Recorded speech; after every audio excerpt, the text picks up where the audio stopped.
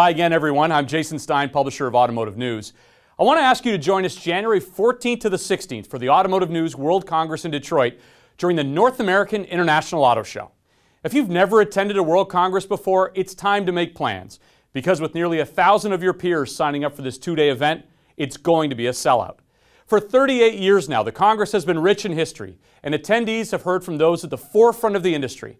This year's capacity crowd at the Renaissance Center will be no exception. Congress speakers include CEOs from General Motors, Volkswagen of America, Volvo, Borg Warner, and AutoNation. You'll also hear from the president of the UAW and the president of Manheim and AutoTrader, plus the COO of Ford and senior executives from Toyota and Nissan, Continental, NHTSA, and more. These are the men and women who shape policy and shape the industry for years to come.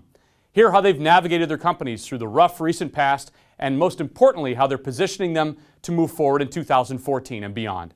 So it's the Automotive News World Congress, sponsored by IBM and PwC. For more information, go to autonews.com slash World Congress to view the full agenda and also to reserve your seat today. I look forward to seeing you this January in Detroit.